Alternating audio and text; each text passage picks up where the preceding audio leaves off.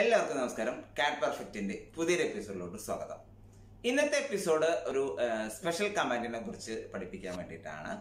അതായത് ഞാൻ ഇന്ന് ഓഫീസിൽ വെച്ച് വർക്ക് ചെയ്യുമ്പോൾ എനിക്ക് ഒരു ചെറിയൊരു പ്രോബ്ലം പറ്റി. അതായത് എനിക്ക് സേവ് ആസ് ചെയ്യുമ്പോൾ ചെറിയൊരു ഇഷ്യൂ വന്നു.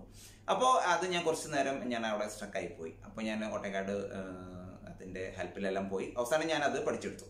അപ്പോൾ ആ ഒരു കമാൻഡ് അല്ലെങ്കിൽ ആ ഒരു പ്രോബ്ലം നിങ്ങൾക്ക് വന്നാൽ എങ്ങനെ സോൾവ് ചെയ്യാം എന്നതിനെ കുറിച്ചിട്ടാണ് ഇന്നത്തെ എന്റെ ക്ലാസ് അപ്പോൾ അതിന് വേണ്ടിയിട്ട് നമുക്ക് കമ്പ്യൂട്ടർ സ്ക്രീനിലോട്ട് പോകാം. അതിനു മുന്നേ നിങ്ങൾ ആദ്യമായാണ് എന്റെ ചാനൽ കാണുന്നതെങ്കിൽ സബ്സ്ക്രൈബ് ചെയ്യാൻ മറക്കരുത്. ആ ബെൽ ബട്ടൺ എനേബിൾ ചെയ്യാനും. അപ്പോൾ സ്ക്രീനിൽ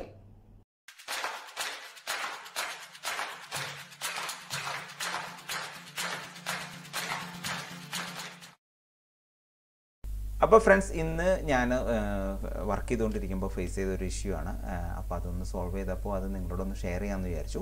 ഓക്കെ അപ്പോൾ ഞാൻ ആ ഇഷ്യൂ എന്താണ്ടായെന്ന് വെച്ച് കഴിഞ്ഞാൽ ഞാനിപ്പോൾ ഇന്ന് ഒരു ഡ്രോയിങ് വർക്ക് ചെയ്തു. അപ്പോൾ അത് കഴിഞ്ഞിട്ട് ഞാൻ അതിനൊന്ന് സേവ് എസ് ചെയ്യാൻ നോക്കി.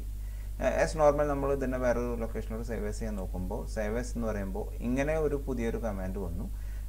അപ്പോൾ ഇതിൽ പറയേണ്ട current file format AutoCAD eighteen drawings enter for file format എന്ന് പറഞ്ഞിട്ട് എനിക്ക് ഞാൻ കൺഫ്യൂഷനായി ഇതെന്താണ് ഇങ്ങനെ വന്നതെന്നുള്ളത് ഞാനിത് മുന്നേ ഫേസ് ചെയ്തിട്ടുണ്ടായിരുന്നില്ല ഇഷ്യൂ അപ്പോൾ അങ്ങനെ ഞാൻ അതിനെ സേവ് കൊടുത്തു.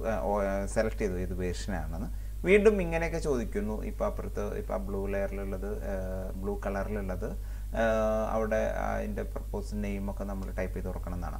അപ്പോൾ ഇങ്ങനെയല്ല നമുക്ക് സാധാരണ വരുമ്പോൾ ഞാൻ ആകെ സ്ട്രക്ക് പോയി. അപ്പോൾ ഞാനത് കുറച്ച് നേരം ഇരുന്നു ഞാൻ എന്റെ ഹെൽപ്പ് ലൈനൊക്കെ നോക്കി. അപ്പോൾ അത് കഴിഞ്ഞപ്പോൾ ഞാൻ അത് ഒരു സൊല്യൂഷൻ കിട്ടിയിരുന്നു കേട്ടോ അപ്പോൾ അത് നിങ്ങളായിട്ടൊന്ന് ഷെയർ ചെയ്യാമെന്ന് വിചാരിച്ചു. അപ്പോൾ ഞാൻ അതിന് നമ്മൾ ശരിക്കും പറഞ്ഞു കഴിഞ്ഞാൽ ഒരു കമാൻഡ് ഉണ്ട്. ആ കമാൻഡിന്റെ വാല്യൂ ചേഞ്ച് ചെയ്ത് കഴിഞ്ഞാൽ ഓട്ടോമാറ്റിക്കായിട്ട് എല്ലാം ശരിയാവും കേട്ടോ അപ്പോൾ ഞാനിപ്പോൾ പറയാം. അപ്പോൾ ആ കമാൻഡിന്റെ പേരാണ് filedia F I L E D I A ഇങ്ങനെ ഒരു ഒരു കമാൻഡ് ഉണ്ട് ഇതിൽ ഇതിപ്പോൾ നിങ്ങൾക്ക് പ്രോബ്ലം വരുമ്പോൾ മാത്രമേ യൂസ് ചെയ്താൽ മതി. നോർമൽ കേസിൽ ഉണ്ടാവില്ല. സപ്പോസ് എന്തെങ്കിലും ചേഞ്ച് വന്നാൽ ഈ ഫയൽ ഡയ ചെക്ക് ചെയ്ത് കഴിഞ്ഞ് കഴിഞ്ഞാൽ ഇത് അടിച്ചു കഴിഞ്ഞാൽ ഇതിന്റെ വാല്യൂ ഇപ്പോൾ അവിടെ ഇത് ചോദിക്കുന്നു. ഇപ്പോൾ താഴെ നമുക്ക് ചോദിക്കേണ്ടത് ഇപ്പോൾ ഇവിടെ സീറോ ആണ് കിടക്കുന്നത്. ഈ സീറോനെ വൺ ആക്കി കഴിഞ്ഞ് കഴിഞ്ഞാൽ ജസ്റ്റ് വൺ ആക്കേണ്ട കാര്യമുള്ളൂ.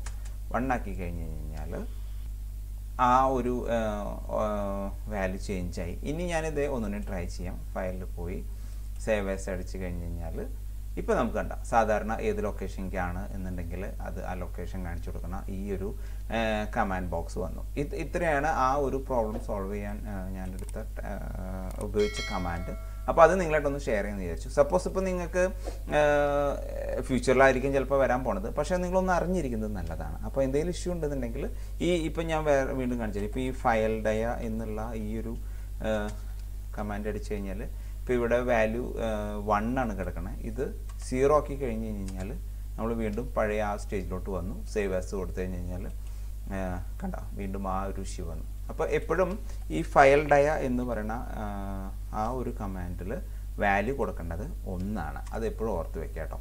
അപ്പോൾ ഇതൊരു സിമ്പിൾ കമാൻഡാണ് അതോടൊപ്പം തന്നെ ഭയങ്കര യൂസ്ഫുൾ ഒരു കമാൻഡാണ് ഞാനിപ്പോൾ അത് വൺ ആക്കി. ഇപ്പോൾ സേവ് ആസ് ചെയ്തപ്പോൾ ആസ് നോർമൽ എല്ലാം സെറ്റായി കണ്ടോ? അപ്പോൾ ഇതൊന്ന് ഓർത്ത് വയ്ക്കുക എപ്പോഴെങ്കിലും ഇഷ്യൂ ഉണ്ടെങ്കിൽ ചാനലിലൊന്ന് കയറി നോക്കിയാൽ മതി. ഇങ്ങനെയുള്ള കൊച്ചു കൊച്ചു പ്രോബ്ലംസ് എല്ലാം ഞാൻ ചാനലിൽ അപ്ഡേറ്റ് എന്തായിരിക്കും കേട്ടോ.